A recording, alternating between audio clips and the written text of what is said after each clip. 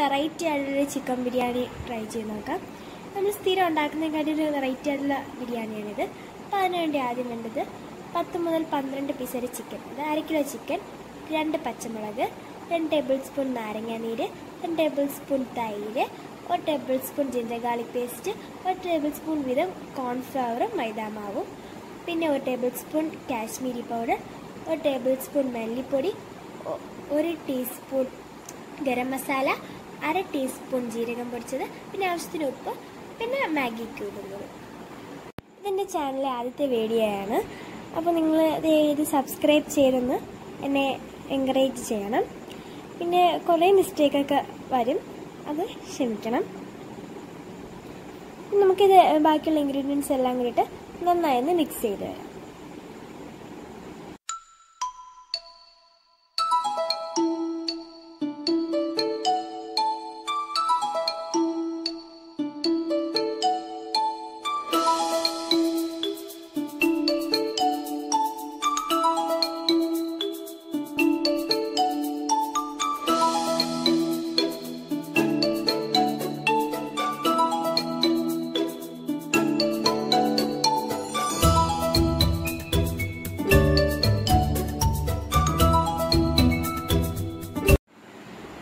ഇതിനകത്തേക്ക് രണ്ട് tablespoon red chilli sauce add ചെയ്ത് ഈ റെഡ് ചില്ലി സോസാണ് ഈ ഇൻഗ്രീഡിയന്റ് ഒരു സ്പെ ഈ റെസിപ്പിയുടെ ഒരു സ്പെഷ്യൽ ഇൻഗ്രീഡിയന്റ് എന്ന് പറയുന്നത്.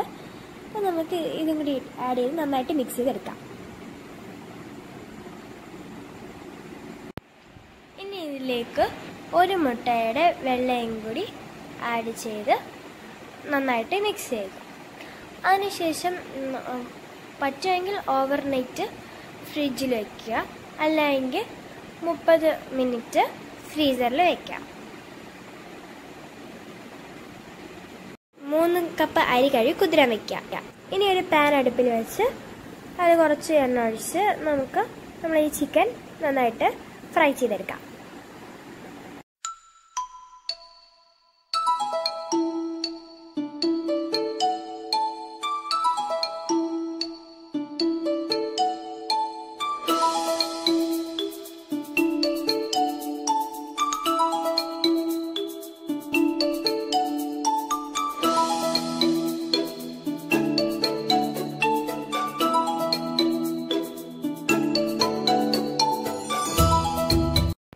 പാനിൽ വെള്ളവും ഒരു ടേബിൾ സ്പൂൺ ഓയിലും ഉപ്പും ഇട്ടതിന് ശേഷം തിളച്ച് തിളച്ച് വരുമ്പോഴേക്കും നമ്മൾ സ്ട്രെയിൻ ചെയ്ത് വെച്ചിരിക്കുന്ന അരി എടുത്ത് ഇതിലേക്ക് ഇട്ട് കൊടുക്കാം. അതൊരു മുക്കാൽ വേ വേവുന്നാവുന്ന വരെ നമുക്ക് വേവിച്ചെടുക്കാം.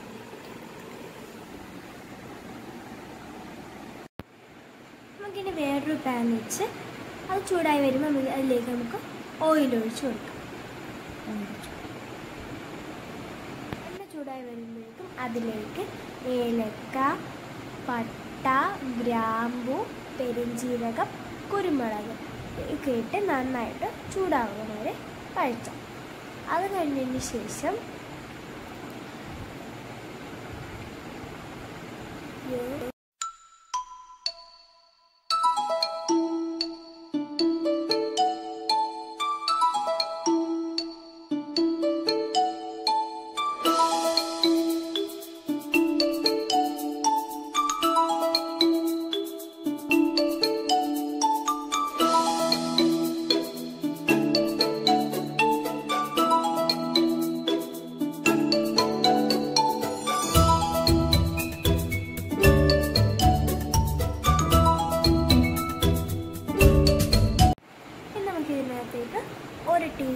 മഞ്ഞൾപ്പൊടി ഒരു ടേബിൾ സ്പൂൺ മുളക് പൊടി ഒരു ടേബിൾ സ്പൂൺ തന്നെ മല്ലിപ്പൊടി പിന്നെ ഒരു ടീസ്പൂൺ ഗരം മസാല ഗരം മസാല ഒരു ടീസ്പൂൺ ജീരകം വെച്ച്.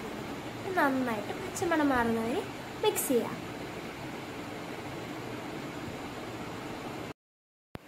ഇപ്പോൾ നന്നായിട്ട് മിക്സായി വരുമ്പോഴേക്കും മിക്സ് വന്നതിന് ശേഷം നമുക്കിതിലേക്ക് രണ്ട് ടേബിൾ സ്പൂൺ തൈരും കൂടി ചേർത്ത് നന്നായിട്ട് മിക്സ് ചെയ്തെടുക്കാം. ഇനി നമുക്കിതിലേക്ക് മൂന്ന് കപ്പ് വെള്ളം കൂടി ചേർത്ത് കൊടുക്കാം. നമ്മൾ വെള്ളം ഇവിടെ തിളച്ച് വന്നിട്ടുണ്ട്.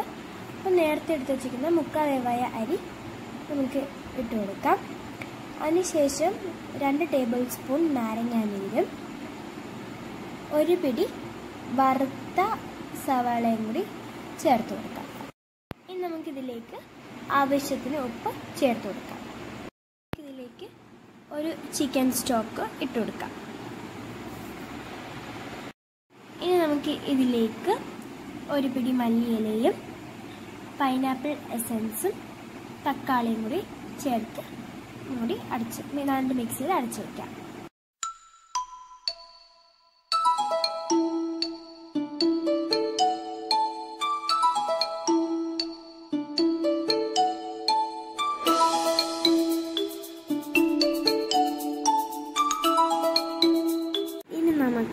നേരത്തെ വറുത്ത് വെച്ചേക്കുന്ന ചിക്കൻ ഇതിലേക്ക് വെച്ച് അണ്ടിപ്പരിപ്പും മുന്തിരിയും കൂടി ആഡ് ചെയ്തതിന് ശേഷം ഒരു ടേബിൾ സ്പൂൺ നെയ്യും കൂടി ചേർത്ത് മൂന്ന് മിനിറ്റ് ലോ ഫ്ലെയിമിലിട്ട് നമുക്ക് വെക്കാം.